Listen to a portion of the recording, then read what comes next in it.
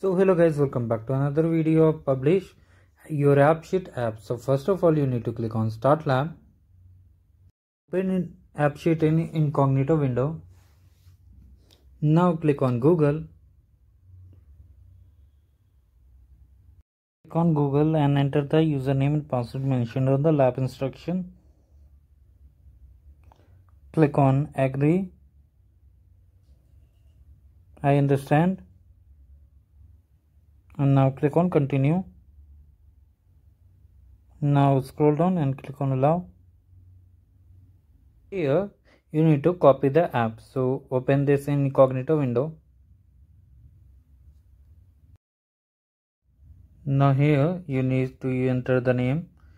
Click on this button it copies. Now replace the name and click on copy app. Now the app will be copied. Now we have to import one sheet so first of all here type sheets dot new.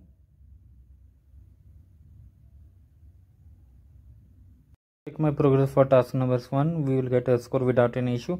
For task number 2 3 and 4 here we have to use the sheet. So for that click on the sheet button icon like this. You will be redirected to the main sheet home page. Now here click on shift to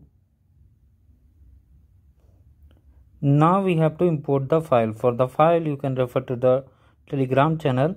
As you can see we have to import this. You can just click on the search icon and just type gsp 1030 or the gsp number of the lab whichever you are doing. Like this you have to search. So first of all click on file. Remove this unwanted pop-up and then click on file. Then click on import now just now with the file which you have downloaded you have to upload it. Click on browse. Now here just select the file that is 1030 click it. And now a lot of you guys may make mistakes so read this carefully. You have to click on replace spreadsheet. You have to click on replace spreadsheet not any other thing. Now click on import data.